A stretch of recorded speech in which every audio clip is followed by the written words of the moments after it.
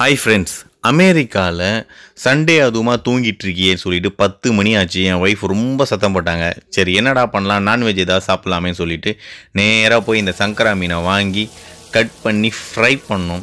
Fry அவ்வளோ டேஸ்ட்டாக இருந்தது. அந்த மாதிரி ஃப்ரை இந்தியாவில் சாப்பிட்ற ஃபீல் எனக்கு ரொம்ப நாள் கழிச்சு கழிச்சு.